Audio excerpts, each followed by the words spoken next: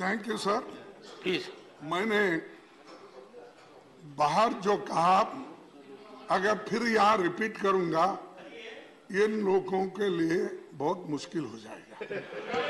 क्योंकि क्योंकि जो आज़ादी के वक्त माफ़ी मांगने वाले लोग और जो आज़ादी के लिए जो लड़े हैं उनको पूछ रहे हैं आप माफ़ी मांगो।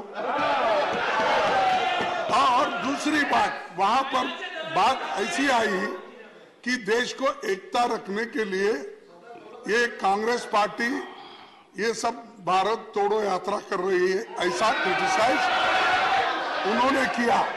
तब मैंने ये कहा, भाई, कांग्रेस पार्टी हमेशा देश को जोड़ने की बात करती है और ये इसके लिए, सर, एक मिनट एक मिनट, सर, इसके लिए इंदिरा गांधी जी ने अपनी जान दी।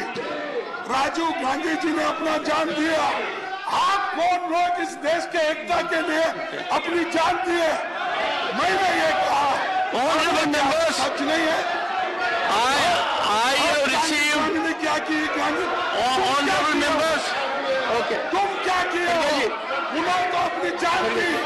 देश को बचाया। देश को एक रखा। और ये बार